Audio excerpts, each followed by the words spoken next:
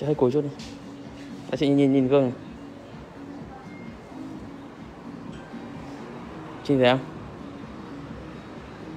Đây bên này này. đây cầm cầm được cho em chị cúi em chị.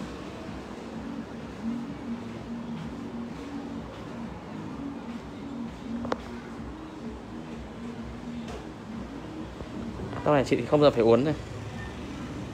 Ngượng đây là được. Chị hay bàn tay này không?